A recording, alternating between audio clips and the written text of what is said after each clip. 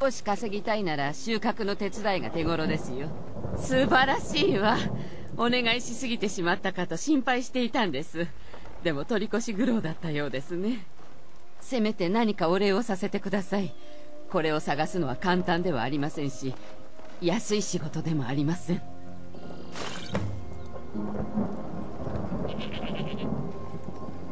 またまた会えてすごく嬉しいわ。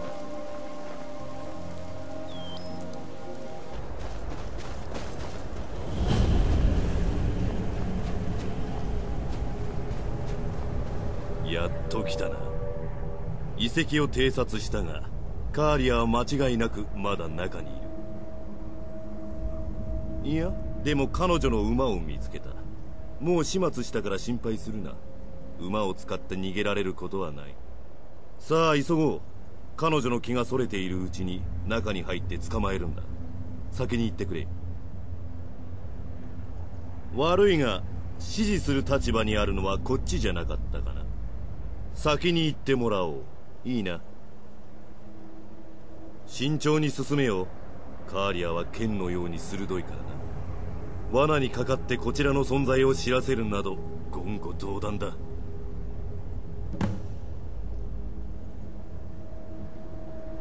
25年前まさにこの遺跡の外に俺はいたんだ。ガルスとここで落ち合う約束をしてね。奴は目的を言わなかったが到着すると暗がりからガルスは出てきた。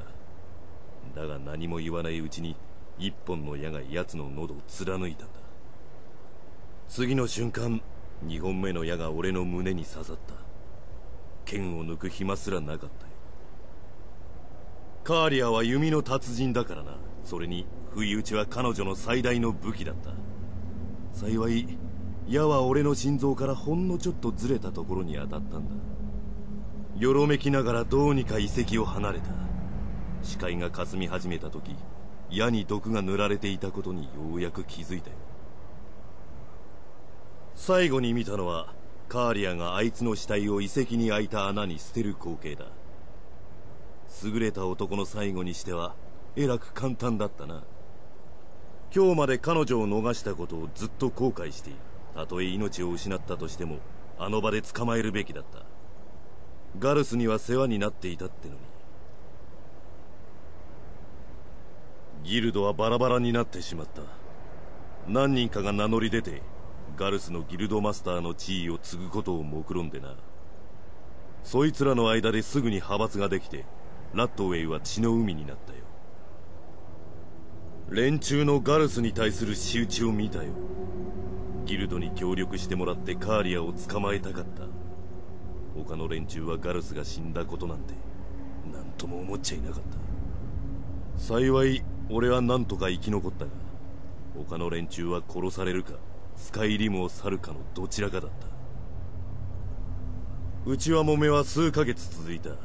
それを彼女はうまく利用して身を隠して足跡を慎重に消したんだ。莫大な費用をかけて情報屋も一人残らず投入した。でも彼女はまるで煙のように消えてしまったんだ。繰り返すが彼女は凄腕だからな。彼女は頑固なダンマーでね何でも我を通さなきゃ気が済まなかった。でも腕は確かで最高だった。数人の盗賊が1年で稼ぐ金を一月もかからずに稼いでしまうようなやつだったよ。ガルスはカーリアを信用しすぎた。彼女をあんなに近づけるべきじゃなかったんだ。そういう言い方をするなら答えはイエスだ。俺の意見かい？彼女は奴を殺すために垂らし込んだんじゃないかな。ガルスは彼女のことを可愛いナイチンゲールと呼んでいた。完全に骨抜きだったな。欲望か？嫉妬か？それとも憎しみ？何が原因であんなひどいことができたのか誰にもわからんだろう。一つ確かなことは彼女が死ぬ前に俺が突き止めてやるってことだな。闇の一党とは長年の提携関係にあるがギルド内で誰か始末したい奴がいたら自分たちでやる。そういうのは内輪で済ますのが一番だということでお互い了解してるのさ。もうこんな無駄話はいいだろう。先に進もう。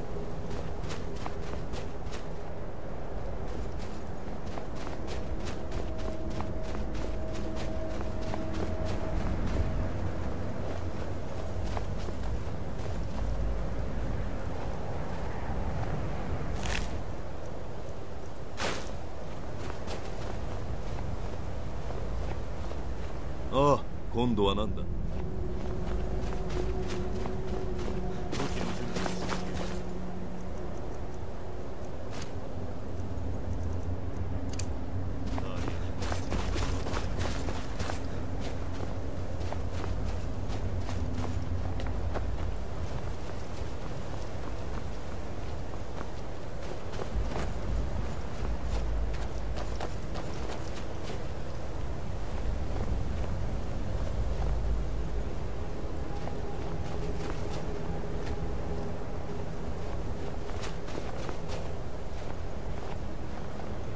このノルドの墓は侵入不可能とまで言われている。こいつはそんなに難しくなさそうだ。仕組みは簡単だ。ここの鍵はどうってことはない。ちょっとした知識と優れた技術さえあれば開く。それでいいはずだ。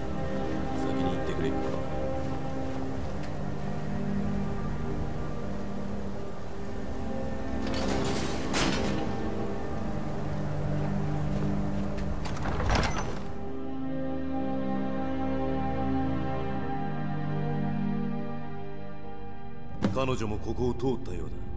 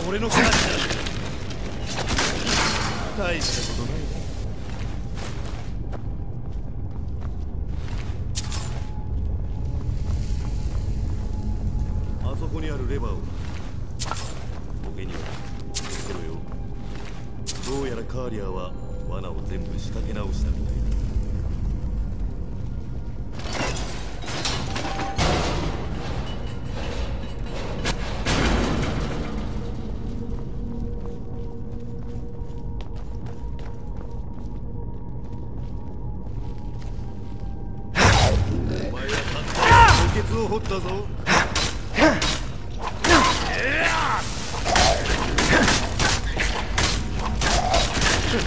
大したことないね。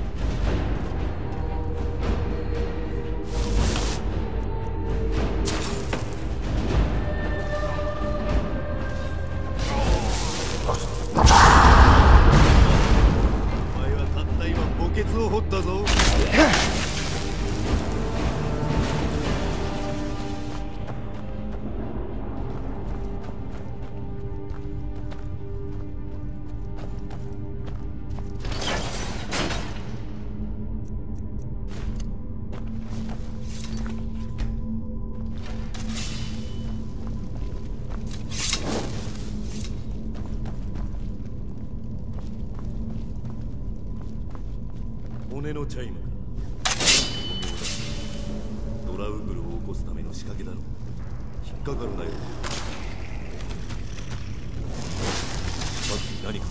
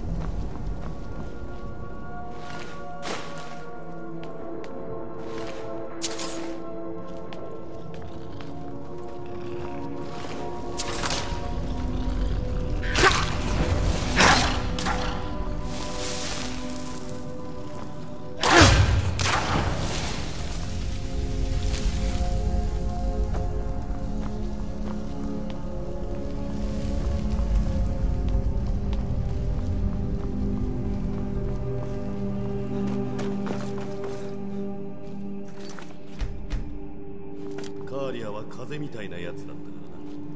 このドラウルグどもをやり過ごすのは彼女にとっては朝飯前のはず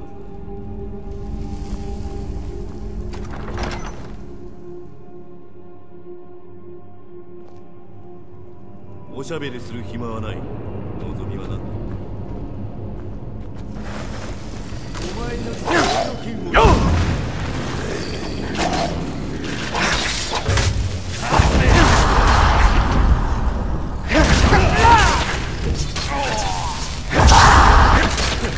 大したことないよ。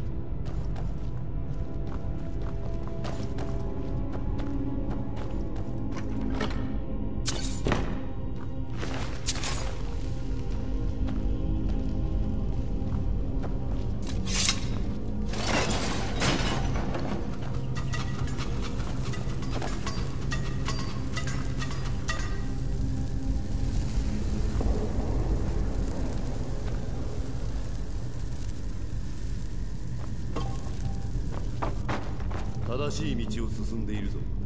彼女もここを通ったようだ。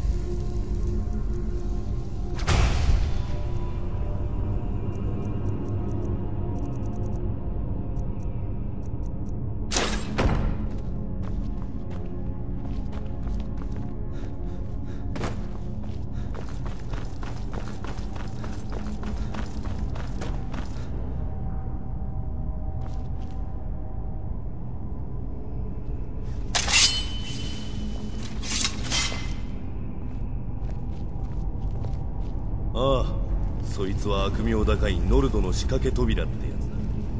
非常に興味深いね。合致する金の爪がなければ通常開けるのは不可能だ。だがそいつはカーリアがすでに処分したはずだから俺たちは自力で何とかしなければならない幸いここの扉には知る人ぞ知る弱点がある。仕組みは簡単だ。カーリアは近いぞ。間違いない。先を急ごう。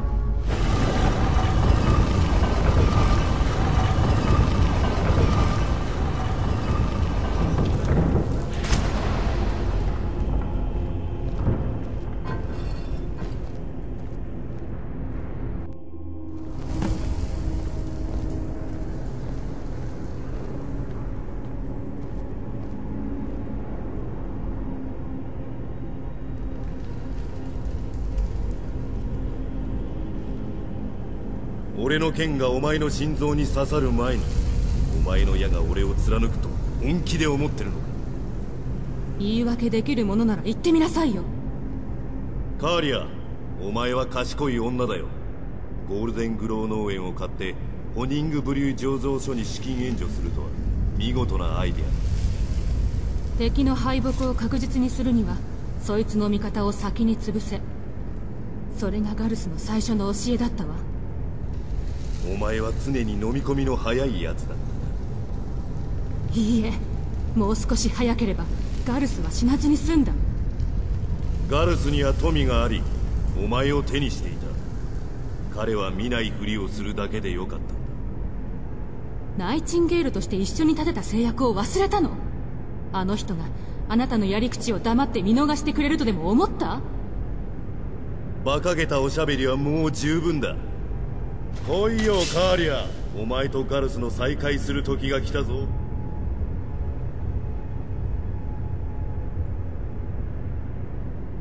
その手は食わないわよメルセル。あなたとやり合うのは自殺行為だもの。けれど誓うわ。次にまみえる時があなたの最後よ。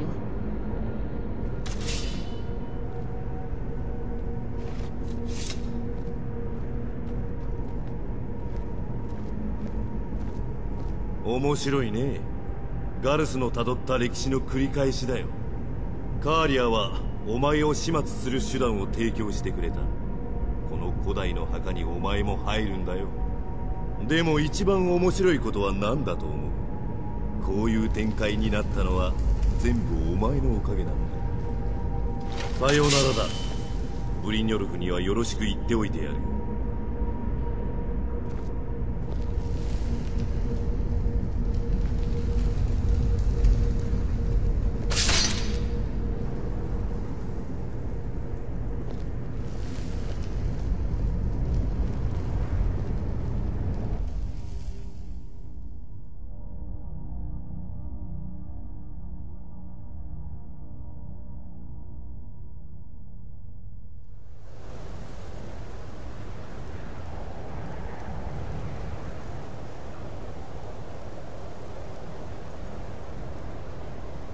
落ち着いて。大丈夫よ。まだ寝てなきゃダメ。気分はいかが？命の恩人と呼んでほしいわね。あの矢には先端に特殊な麻痺毒を塗っておいた。それであなたの心臓の動きが鈍くなったから失血死せずに済んだわけ。殺す気だったらこんなところでおしゃべりなんかしてないわ。もともとあの矢はメルセルに使うつもりだったわ。けどそうする隙がなかったのよ。言ったのはとっさの思いつき邪魔されたくなかったから。それが結果的にあなたの死を防いだというだけの話よ。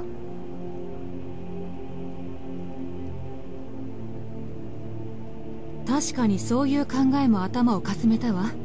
あの矢に塗った毒は完成まで丸一年かかった挙句ギリギリ一発分しかできなかった代物だったから。メルセルを生きたまま捕らえることが最後の希望だったのに。ギルドに連行してしでかしたことの報いを受けさせるためよ。ガルス殺しの罪は償ってもらうわ。メルセルを待ち伏せする場所に雪帳の聖域を選んだのはただの皮肉じゃないの。あなたたちが来る前にガルスの遺体から日記を回収しておいた。何か手がかりが書いてあるかも。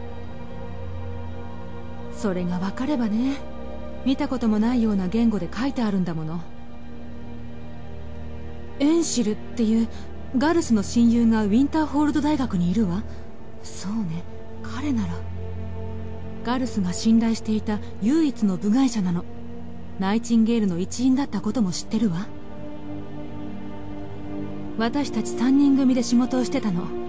私とガルスとメルセルの3人よ。リフテンの盗賊ギルドの名もなき分派としてね。そのうち詳しく話してあげるわ。とりあえずウィンターホールドに行って日記を翻訳してもらってきてちょうだい。ほらこれも持って行って。道中役に立つかもしれない。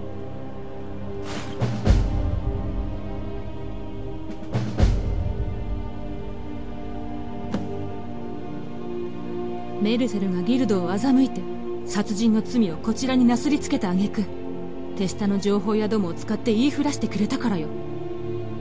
それから25年というものずっと逃げ続けてきたわ。同じ場所では二度と眠らず必死に追っ手を巻きながらね。メルセルに必要なのは単純な死じゃない。因果の冷たい切っ先よ。人生が足元から崩れ落ちてギルドに追い回されるのがどんな気持ちかを味わわせてやる。もしそういう羽目に陥って壁際に追い詰められた時にはきっとためらいはしない。学があって盗みの達人で天性の指導者だった。誰もが一目置いていたし迷わず従っていた。ナイチンゲールに入れてもらったのもここまで腕を磨き上げられたのも何もかもガルスのおかげなの。あの人とは親密な関係だったわ。ガルスは前に君がそばにいると落ち着く。警戒を緩められるからと言ってくれた。あんなことになったのも私のせいなんじゃないかって気がしてならない。ダメよ。あいにくいろいろとやるべき準備があるしガルスの遺体も葬ってあげないと。約束するわ。なるべく早く追いつくから。忘れないで。話していいのはエンシルだけよ。他は誰も信用しちゃダメ。